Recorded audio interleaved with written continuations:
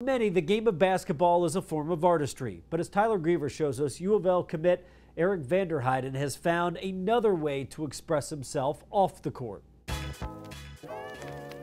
The creativity piece, the same exact thing between both basketball and like anything art related. When you're on the court, you have to always be thinking on your toes and always thinking like, how can I do this differently? To Eric van der Heijden, creativity is fluid.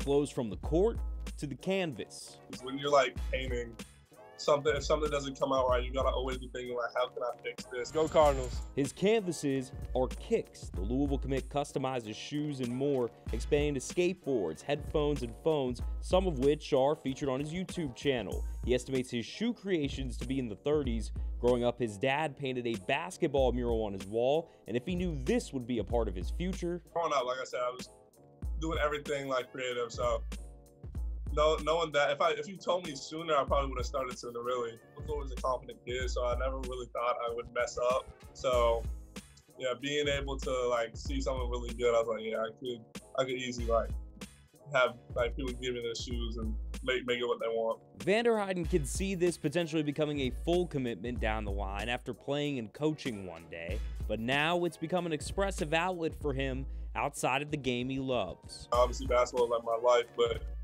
you can only have so many hours in the day to work out. Having that other thing to do really just like takes up that time with like something that's stress relieving and something that's just satisfying for me to do. Reporting in Louisville, Tyler Griever, WHAS 11 News.